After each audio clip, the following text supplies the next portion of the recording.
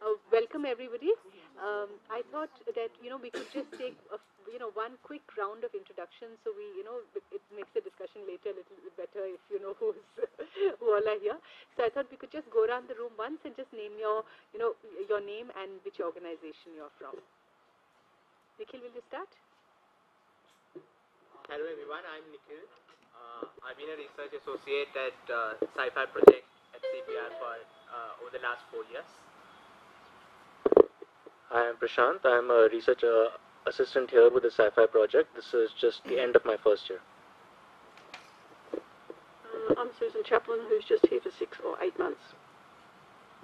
Hi, I'm Shweta and I'm a research associate with CPR Sci-Fi. Hi, I'm Mahima and I work uh, on sanitation. Uh, I joined CPR about five months back. Hello everyone, I'm Preeti. I work as a research associate at ISD Institute for Human Development and I especially work on the sanitation section in that. Good morning everyone, uh, I'm Bhavna. I'm doing my dissertation on uh, rural hygiene and sanitation and I'm student of Master of Design in Live Delhi. Please on the mic. Yeah, uh, I'm Udita Das and I'm part of a company called Karvy Insights and I handle social sector research for them and work on not specifically sanitation but gender, child rights issues and also reproductive health. So that's Hi, uh, I'm Nidhi. I work with WaterAid. Hi, good morning. I'm Mamta and I also work with WaterAid.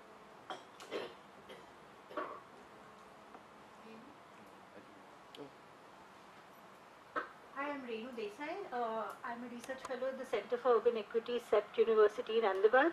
Um, and I used to work on sanitation, but I'm here to present something on that. Hi, I'm Dibyendu Shamanto. I'm a consultant in the Sci-Fi Sanitation project at CPR. Hi, I am Aditya and I'm a research associate uh, uh, and I've been working at, at CPR for four years on sanitation. Hi, I'm Siddharth. Like, I work with Outline India. It's a Gurgaon-based research organization. We are active in uh, health, education, and sanitation space.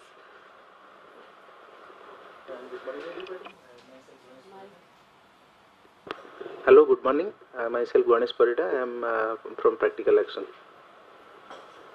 Hello, I'm Indu Kapoor. I'm not primarily a researcher, but a practitioner and activist since the last 35 years in Center for Health Education, Training and Nutrition Awareness called Chetna in Ahmedabad. Hi, I'm Kimberly Noronha. I'm a researcher with the Sci-Fi Project at CPR. I'm Arkaja Singh at CPR. Uh, hello everybody, I am Anju. I am also working at CPR. Uh, hi, I'm Ranjita Mohanty and um, I work as a research consultant. I do mostly social policy research. Uh, I have been involved in a study which we will be presenting shortly. Thank you.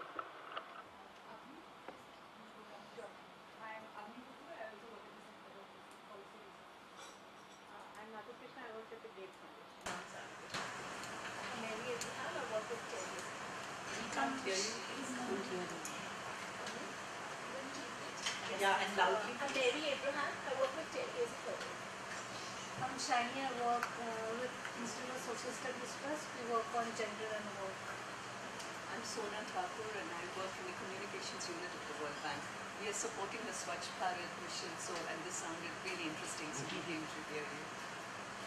Hi, I'm Roli and I work with Sona.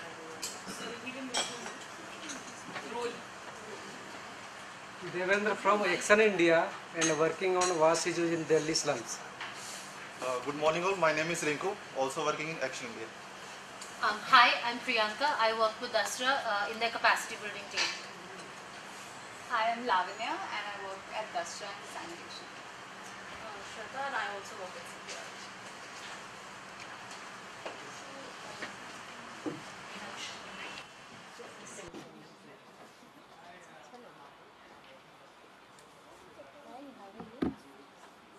Okay, since it's time, I think we'll start now. And uh, so, just uh, quickly, there's a small change in the program. It's just in the order of the speakers. So, we'll start first with Anju and Dr. Ranjita Mohanty. And, uh, you know, each of the speakers, we request them to speak for 20. We've given a half an hour slot for each of the presentations. We request the speakers if they could finish in 25 minutes. Not you, Renu, I mean, you, whatever, because yours is the last. But for the first two, then we could have five, five minutes of clarificatory questions, like just purely clarificatory questions after each presentation.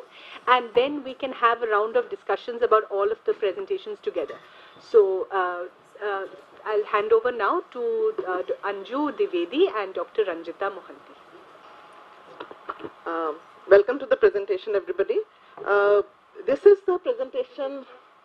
Okay. Um, this is an ethnographic study that we conducted in uh, Angul and Dhenkanal. These are small towns in Odisha, and basically uh, to, um in any case, let this come up. I can. I don't want to. Start with this here, the first line.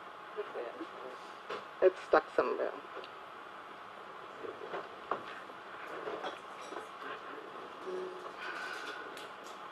Ah. So basically, um, let me just give you a brief background and the uh, of the study as well as the uh, these two towns in Odisha before we actually take a deeper dive into the analysis of the findings. Uh, this particular study is uh, an uh, ethnographic study which looks at this various socio-cultural practices and perceptions among the urban poor communities um, in Angul and Dhenkanal uh, related to human excreta and how they look at sanitation. And when we say socio-cultural aspects, that includes um caste, religion, gender, traditions, kinship, and other kinds of socio-cultural uh, things. Basically, the um, study, um, basically, if um, I may also provide you a little background of the project that we are doing in Odisha. This is a project which is uh, looking at creating decentralized uh, solutions in the community in Angul and Dhenkanal uh, on FSM, which we are doing, implementing together with Practical Action. Ganesh is here from Practical Action Odisha, and with the support of the uh, BMGF and Arghyam there. So we are hopefully uh, going to demonstrate something there soon. But uh, this particular project actually looked at, because we are going to implement this FSM project there, so looking at how people relate to, I mean, see human uh, excreta and whether they will be able to use the products which come out of it and all those things. You know. So uh, if we, uh, I just tell you that we all know that India is a leading OD practitioner in the sense that lots of OD uh, practitioners are present in India, and it is almost 626 million. Uh, whereas in the world, it is 1 billion people who are defecating in the open. So you can imagine more than half the population is residing in India who are the OD practitioners. And uh, despite lot of policy attentions, not in urban areas but even in rural areas, this pro- pro- uh, this problem remained unaddressed in the sense that nobody, I mean, it has intrigued many researchers as well as policymakers that why India goes uh, to defecate openly in so many numbers. And uh, we all know that various studies uh, by UNICEF and WHO has po- also pointed out that OD is not related to only the literacy level or the income level. You know, so there are many poorer countries like Bangladesh and many countries in sub-Saharan Africa where the rates of ODs are very less, almost negligible as compared to India, which is fairly better off economically with those two countries.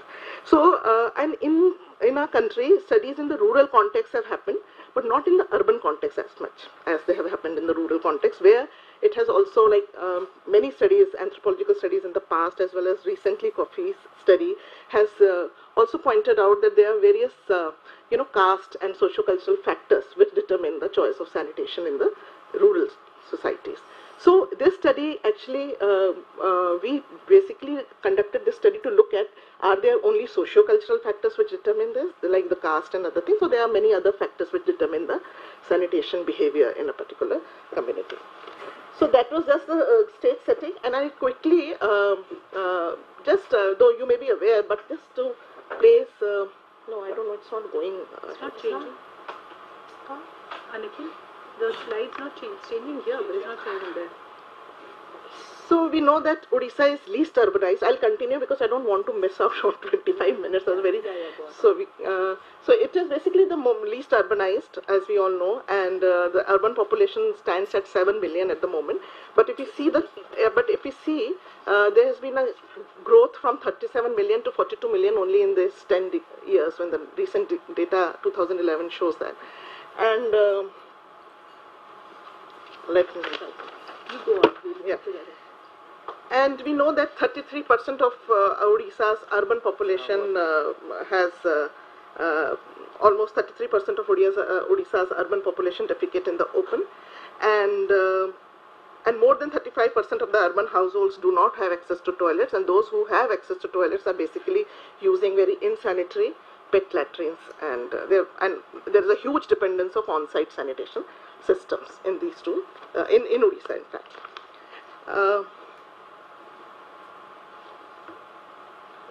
yeah, yeah, Wait, wait, wait.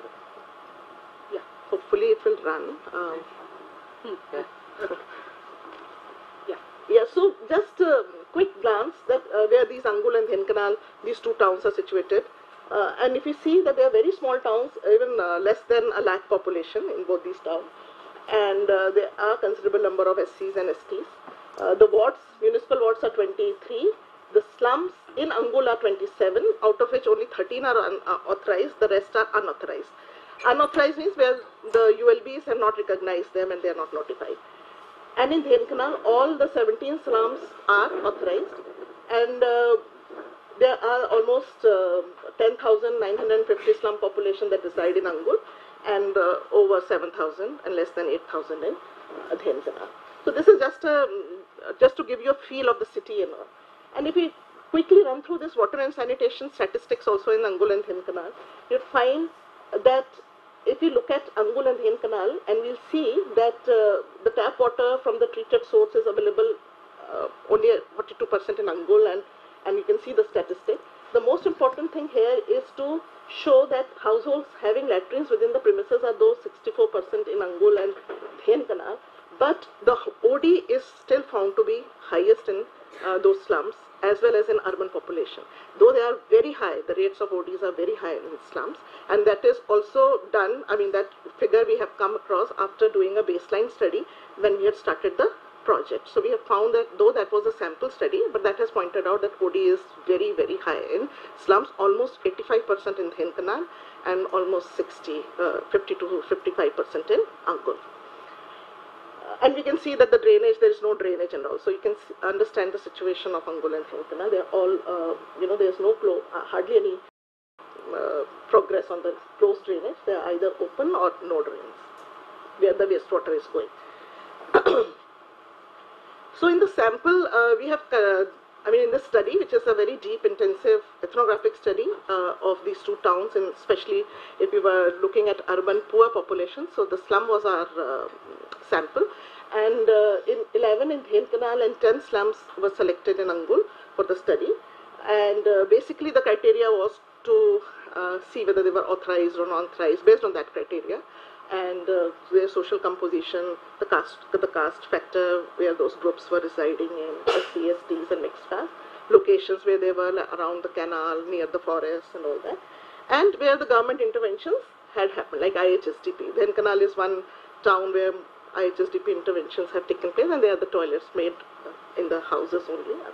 Uh, just to give you a feel of um, and the ki- kind of uh, you know the city looks if you see a ward wise the boundaries and the slums. So all these dotted and the stars are the slums, but the dotted slums are where we had conducted our study. So those ten they may not be visible, but what I, uh, we have seen saying that they are from the scheduled castes and tribes and the mixed caste groups. Similarly, in Dhenkanal, because it's a tribal, a lot of uh, tribal people reside in Dhenkanal in the slums, so there has been highly, I mean, like almost five to five, tri- uh, five slums where we have uh, chosen, which uh, were inhabited by the tribes, and the rest scheduled castes. And when we're saying scheduled caste, it actually also we looked at uh, those who were the lowest of the low in the sense that who were involved in the uh, sanitary works, uh, those who are not treated, or who are treated as untouchables, but those are the people we have. So that was the thing. Next uh, slide, the methods of the data collection has been uh, purely ethnographic, and Ranjita, I handed the mic to you to take it further. Okay. Uh, how do we go about this? Uh, okay, I should, uh, because, uh, okay, thank you. Um, okay, uh, thanks everybody. Um, uh, can we go to that overview? Uh, no, we'll, we'll come to that, uh, but just to show the- a little bit of picture of that. Um, uh, before we go into the, um, uh, I'll tell you in a little uh, detail also about the sampling, but before we go into that, uh, you know, just uh, it, it's always, if you see some visuals, you can place that, you know, how people look, how the houses look, uh, how they live, what are their conditions and all. So, and just a little bit about the two cities. Um, they are they are in close proximity, but the two cities are similar. And they are also different in many ways. Uh, the, the, the Angul and Dhenkanal both are uh, district headquarter towns, but they are small towns. Um, Anugul is predominantly um, a, an industrial place. Uh, there, are many public as well as private sector uh, companies uh, there. Um, Nalco, Jindal, Bhushan Steels, um, Mahanadi Coalfields, all the all the big companies are around. Dhenkanal is primarily uh, an administrative um, town, uh, small industries, and also uh, uh, people do ag- agriculture there. We selected, uh, huh, we can go back to the sample and all that. We selected uh, slums um, uh, depending on, as Anju said, a number of criteria. Uh, Anugul, um, because it is industrial and there's a lot of migration from uh, nearby places as well as from you know other states and other um, uh, districts from Odisha, you will find that in Anugul uh, there are a number of what is called an unauthorized slum, which is not recognized, and uh, you know it comes it it, it it it it usually grows on the periphery peripheral areas of the uh, city, like on the uh, the slums are on the canal banks or in on an abandoned field and uh, all that. Um, the authorized slums are what is the recognized. So Dhenkanal doesn't have any authorized slum, but unauthorized slum, but Anugul has a number of uh, a number of them. And this difference actually is very crucial because uh, a number of rights and entitlements, as well as the possession of land, uh, is uh, uh, absent in the unauthorized uh, slums, and that kind of determines that you know their choices and you know how they would um, uh, you know create infrastructure, other infrastructures like houses and all. But in both the cities, the slums are fairly old. Uh, definitely uh, 50 to 60 years, and some could be even uh, even older, like 80 to 90 years. I mean, people uh, could recall, but then you know they couldn't recall beyond a certain point, saying that you know maybe uh, you know grandfather, grandfather uh, perhaps came and uh, settled.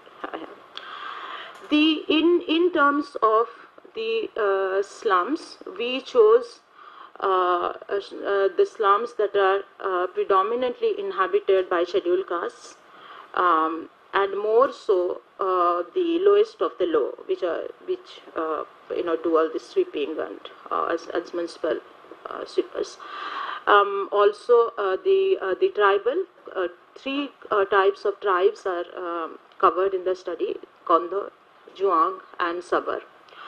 And also, we looked at the mixed caste slums to see that how people live together, how the upper caste, other backward castes, and the scheduled caste live together. Now, there is an interesting uh, difference between Dhenkanal and uh, Angul uh, present. In Den- in Angul, because as I said that it is an industrial city and, and, and people migrate and they don't really have the choice that where they would settle and they settle on the canal banks and all, you could find that uh, there would be a couple of houses at the at the at the very periphery of the slums, and you know by just looking at how dilapidated and the kind and uh, you know how poor those people are that they are uh, the scheduled caste. The rest would be like Brahman, Rajput, um, uh, um, other backward castes. Uh, they would all stay together. In Dhenkanal, um, the scheduled caste population uh, would be dominant in the mixed caste uh, slums, but there would be other castes around. Around, but in, in, in both the cases, the the physical habitation is sort of separated. Uh, as for the uh, as for the livelihood and the occupation in the slums, most people work as daily wage workers. Um, some work in the industry, some work in the market, some pull carts, uh, and um, uh, there are also like skilled workers, like there, there are masons, there are carpenters, there are there, there are painters, and some have this small uh, enterprise, like they would have an auto uh, rickshaw or a chart, uh, like you know, they would be selling vegetables on the cart. Um, uh, women, the scheduled caste women work mostly as daily wage workers, and they also work as domestic worker. Whereas we find that among the, um, uh, the, the tribals, the women do not work uh, either as uh, daily wage worker, most of them, and uh, none of them work as domestic workers. They actually go to the forest and they collect uh, wood and then they sell in the market. So this is how the profile of this uh, place looks like. Um, and we did um, we conducted um, our, our, our field work from January 2016 to September 2016 and uh, we, uh, we, uh, we chose uh, the methods of uh, ethnography because uh, we wanted to study the, the cultural um, phenomena, the cultural practices and, and perceptions.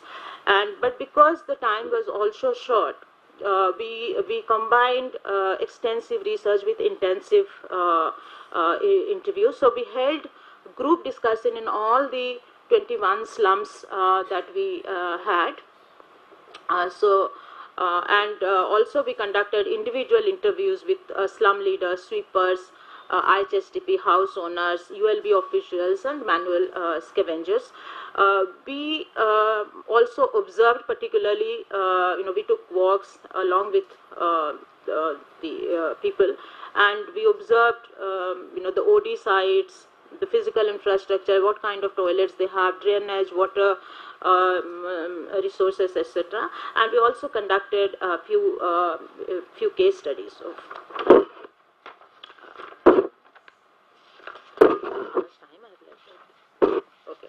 So uh,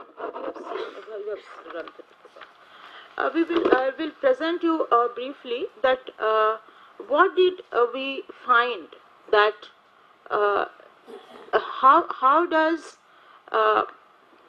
we we we explored the phenomena of caste, the the practices, the practices of purity and pollution, um, the sanitation behavior, the sanitation choices that people make, uh, how, to what extent uh, these are determined by culture and is culture and does is culture the only factor? Does culture operate in uh, uh, in isolation? Or there are other factors that impinge on it and there is an interaction? So how does how does it, it how does the scenario looks like uh, in in the in the two um, two two towns that where we uh, conducted a study conducted the study?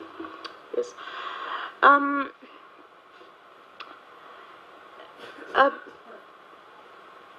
in the Hindu uh, uh, culture uh, we find that uh, and, and much of the there is a lot of literature actually available on on what I'm saying now. But uh, you know, I, will just I'll just give a um, um, something quickly, and then we'll I will move to how how it uh, looks like in the in this in the two cities. There are primarily four aspects around which the purity pollution um, revolves that have a bearing on the sanitation practice, perception and practices and the choices or the lack of choices or the preferences that people would make. First is dirt. You have to understand that what is the connotation of dirt that the uh, that the uh, Hindu culture has. It has both uh, a physical. The dirt is both physical. The dirt could also be ritual. So, for example, the garbage is physical. The human excreta is also physical. But the difference is that human excreta also has a ritual connotation. And that is why you will find that normally, at least in the Odisha culture, um, both men and women will change their uh, clothes when they are going for defecation, even when they are going to the toilet. Yeah. So um, and and they would you know wash themselves properly, if not a bath, right? Um, and um, yeah. So uh, and and and and and the garbage uh, it cannot be stored inside the house. The garbage has to be taken and to be deposited outside, which is physical. The, the connotation of dirt actually uh, revolves around or orderliness or chaos. Yeah, and the boundaries are maintained. Like you know, so um, to be dirty is to be disorderly right and or, or being polluted to be pure is to be orderly and to be acceptable and that is how the, the cultures and the societies would make create boundaries and and reinforce them through uh, various ways now among the also the re, what is considered as ritually impure uh, there are there are a number of things, but let me just uh, give you a few examples. That menstruation is is ritually impure. Birth in a, in the household is ritually impure, even though it's a good thing. Like you are happy, but still you become ritually impure. Um, death is also ritually impure, and the bodies that go through this. So a menstruating woman is ritually impure. Yeah a, a, all the members in a household where a birth has uh, taken place are ritually impure. Likewise, all the members in a household where death has in, in, uh, um, occurred ritually impure. And after the particular period, they have not only to clean their body, and I'm coming to next, coming next to the another important aspect is the space. So the so the the inner space, which is the pure we, where you cannot uh, accommodate either physical dirt or ritual dirt yeah that that space needs to be kept clean and not only that physical need to be you know swept and um, clean but and the dirt needs to be removed. But the body that that that becomes impure in the pro, in in this process it also need to be cleaned. So you will observe that after the period of birth or after the period of death in, in the case of birth it is 21 days. In the case of death, uh, death it is 10 to 11 uh, days. The house needs to be properly cleaned.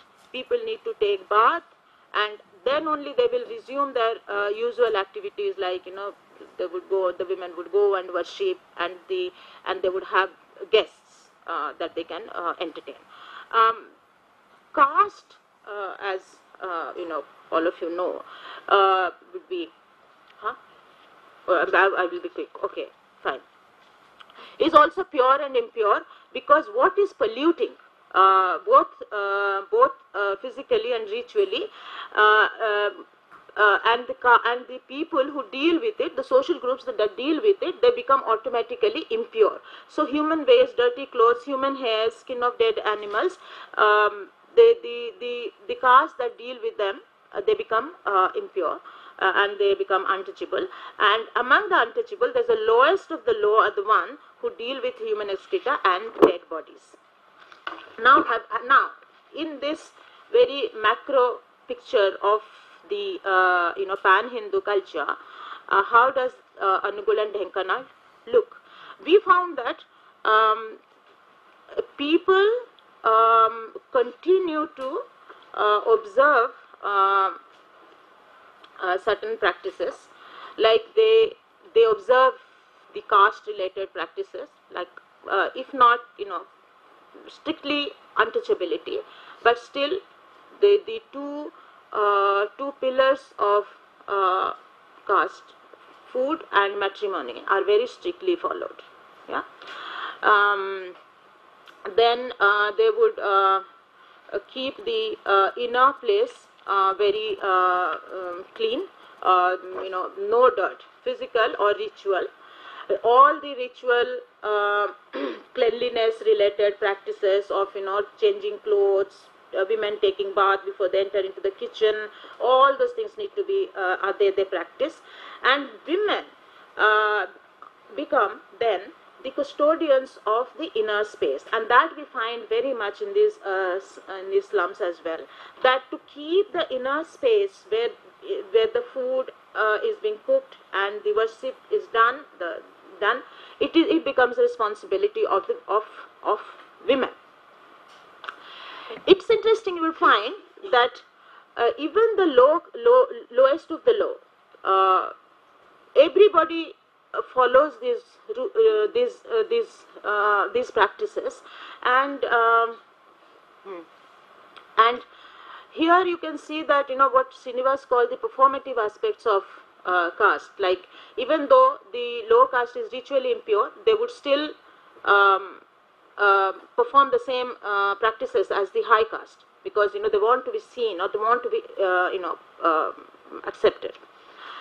We also find that people continue doing certain practices but they also adapt and change. So what is what are the things that they adapt and change that we, that you find that uh, traditionally in in in the Odia households people wouldn't construct a toilet within the premises in inner space forget about it you know where the food is being cooked and the worshipping is being done but even within the premises, they would construct in the backyard, but not in the front yard. But everybody has a basil tree, that plant that they worship. Yeah. But we find that people do adapt, and in when they have the constraint of the space, they uh, they are willing to construct uh, toilets there. People are also living in close proximity with the in in the slums of Anugul. People are also living in close proximity with um, the uh, the uh, the low castes. Hmm? Um, also, there is a bit of a compromise also on the uh, purity of the inner space because in the absence of you know too much of a space space you would find that uh, then we go huh, uh, that they can uh, place their deities on the on the on the bedroom you know in a, in a sort of you know combining profane with the sacred in a manner that they wouldn't otherwise do if they had the choice of space.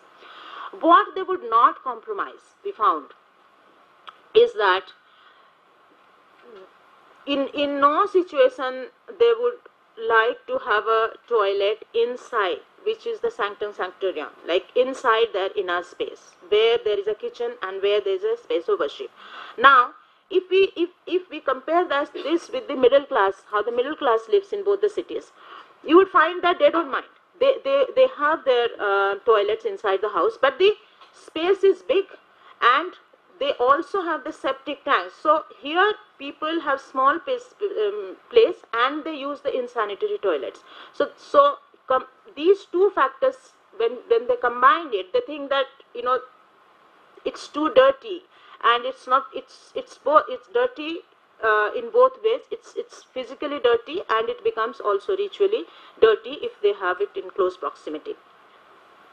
The tribal communities also follows uh, the, uh, the, some of these uh, uh practices, though not as rigidly as the Hindus. Um, we also find that open defecation is widely prevalent. Uh, uh, um, there is an element of shame that both male and female associate with open defecation. Um, and uh, there is an also informal understanding of the spaces uh, um, being you know gender segregated still there is a lot of challenge and these are usual challenges like you know going out uh, in the night and you know pregnant women sick women older people and all that. But what is interesting in these findings is that um, practice of od uh, doesn't imply that people do not want toilets right? So if we, if we see that the same people would uh, go for open defecation but uh, some of them who have the toilet in the house would also use the toilet and there is an overwhelming um, um, uh, desire for uh, toilets and, and applications under SBM. So it, it, it implies that uh, that that the that if you just look at the percentage of OD and we see that oh you know so so many people just prefer it or you know like in other studies uh, that they have said um, that people like going out you know open air and all that we didn't find those kind of uh, things here but people uh, as as uh, we can go to infrastructure. But as you can see here uh, people use their toilets selectively because of you know the various reasons that are mentioned here like small size desludging constraint of water physical stress. But also uh, also that um,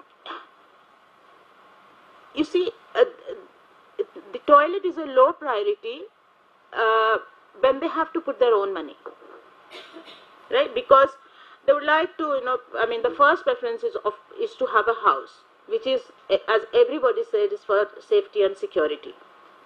And then you know they would have health and a livelihood they would like to set up a business and uh, other things.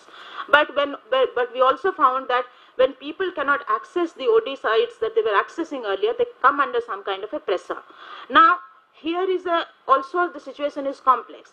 They do construct toilet but uh, can we see some of those toilets? Yeah. But as you can see see the what kind of toilets people construct it, this is this is how it looks like. And and most of them are insanitary right?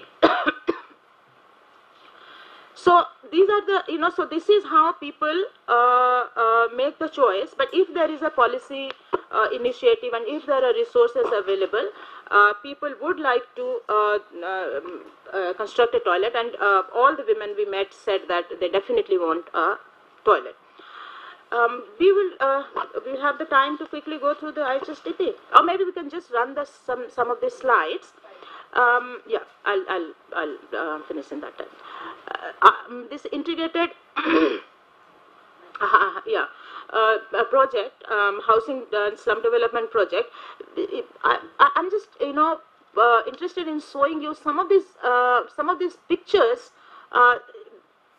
and that explains that what I just said earlier, that why the physical space determines so much of that, you know, what kind of cultural practices people would have or would not have, right? So if you look at this, this is a 20 feet square meter uh, uh, square meter dwelling unit that has a um, small living room and a little veranda and two rooms uh, one uh, as a bathing space and one is a toilet. Now we we surveyed this in the two uh, tribal slums in Dhenkanal where they have constructed these houses and the toilets and and there are you know joint there are uh, community um, uh, tanks as you can see in one of the uh, slides there um, people don't use it no one uses it actually uh, in one slum, some of these, um, you know, the, the tanks are yet to be constructed, but people said that they don't want it actually. Um, they stole the material. They said that, you know, uh, we will not be using it because it is so close. I mean, the, the whole shit thing is just on our face, right? And uh, we, we, we sleep here, we cook our food here, we do our puja. Uh, how is this even possible? Right? And some of them said that when this, they began constructing this, we asked them that instead of constructing this toilet here right inside this house, why, do, why don't you construct you know in a space that is just outside the house we we were even uh, um, telling them that where to construct but they said that you know the design is prefixed and then we can't do anything about it and this is well nobody's using it these ah. are the plans also. Hmm. These are the tanks, which are like six, six, seven households are connected to these underground tanks where the sludge is.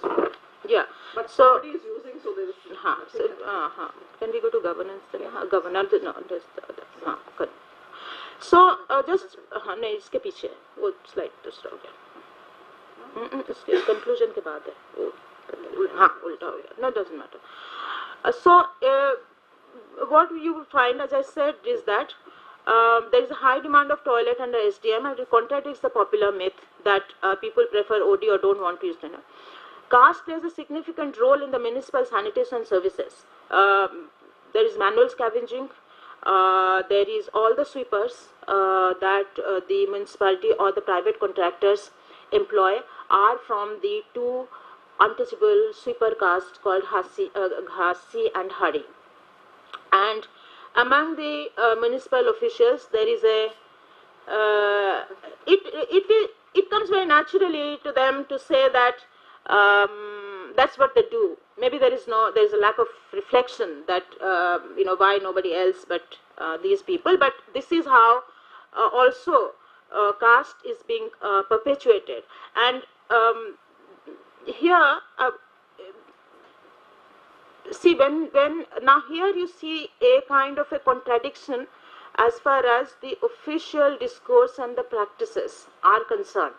On the one hand what we are saying is that people do not use toilet because of cultural reasons and therefore there is a lot of emphasis on behavioral change right all the iec materials will target the behavioral change but on the other hand a significant uh, part of the culture that reinforces a certain kind of uh, sanitation practices are being ignored. There is complete blindness to uh, this aspect, right? Um, and there is absolutely no community consultation on design and all. Um, uh, then can I just take two two minutes just to uh, summarize the what we say what we are saying here? What we are we are uh, finding in this study uh, is that um, culture is there, but as we as I said that people continue certain practices, but when they come under constraint, they also adapt. But it is important to know that which aspect of it is adaptable and which aspect it is not. And until the policy initiatives need, you know, understand that understand that under which condition people make which kind of choices and not not just you know um, um, uh, argue that everything is cultural huh?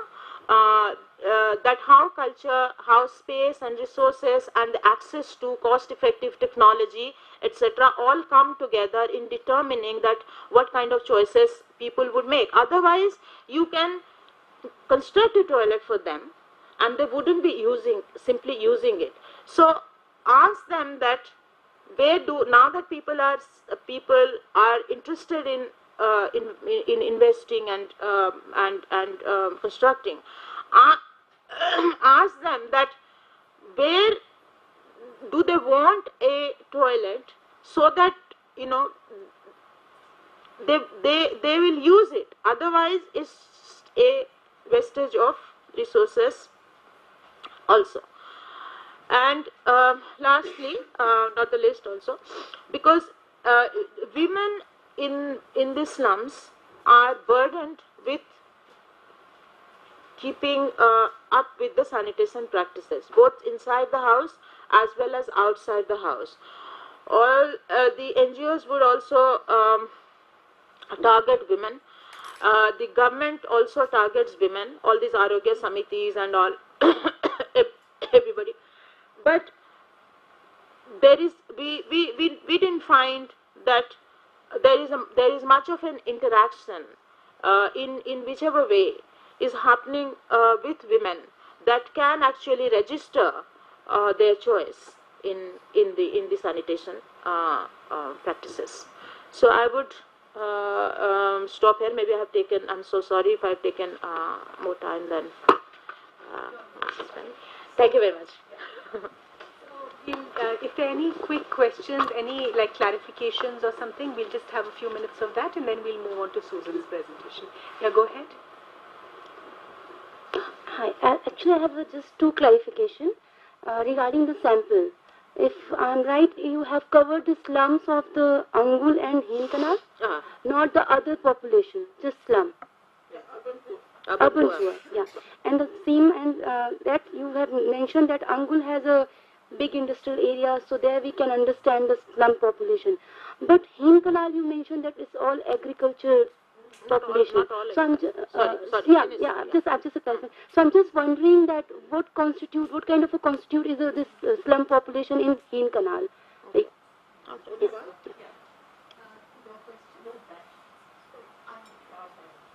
Um, you said that um, part of the problem is that these are pit latrines and they're uns- insanitary. Um, do you think that if instead that there were septic tanks, that might be more acceptable?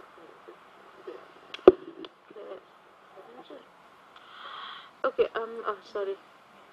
Uh, so I just had two clarific- clarificatory questions. You said there is an element of shame relating to OD. Could you elaborate on what you mean by the element of shame? And uh, you said that there is selective use of toilets. Uh, what do you mean by selective? If you could just explain. Right. Thank you very much. Yeah. Um, Please use the mic. Excuse me.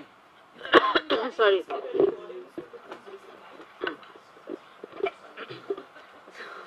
Uh, my, I just want to one clarification. Like you selected two areas. One is urban slum and one is more uh, uh, agricultural kind of setting.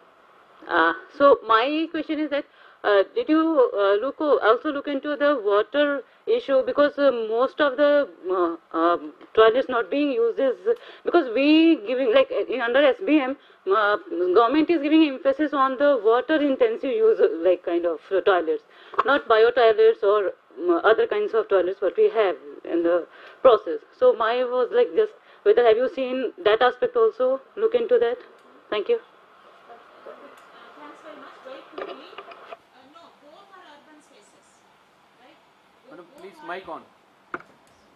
Uh, both are both are um, uh, small cities, so both are urban spaces.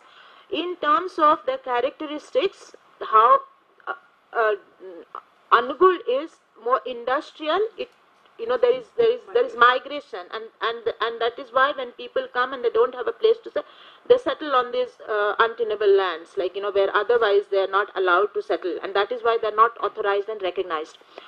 Uh, Dhenkanal is uh, there is there isn't much of a you know migration etc but it's not that it's purely agriculture right?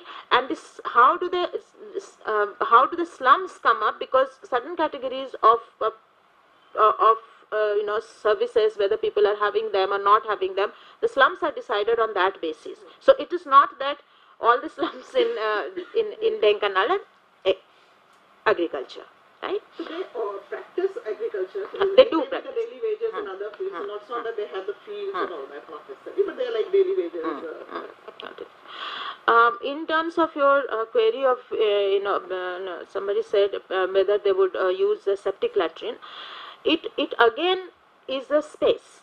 The the inner the the the the space where uh, two things are done. Food is cooked, and the worship is done. Now, if it is a 20 feet, uh, 20 square meter, let us, for example, dwelling unit, even if there is a septic tank, people are not going to use it because not only that you know they, that that boundaries have to be maintained between these different kinds of activities but there needs to be sufficient uh, you know in people's imagination there has to be sufficient physical difference bet- um, distance between what they are doing in these different um, uh, spaces. The element of uh, shame is um, people are under public gaze right? Because there is no uh, um, the, um, uh, the, but particularly this is in Angul because you know Dhenkanal still has forest. But they're all exposed like yeah. So and it is more shameful uh, women feel uh, that it is more shameful for uh, for them because of you know the sexuality that is attached to women's bodies. Uh, so they would maintain a certain hour. You know they would go early morning both men men as well they would go early morning and they would go late in the evening. Um, and and that is why because of the element of shame also there is this segregation. So women would go to you know one part of the field and the men would go to the another part of the field. Selective use is maybe later. Yeah. Yeah. Okay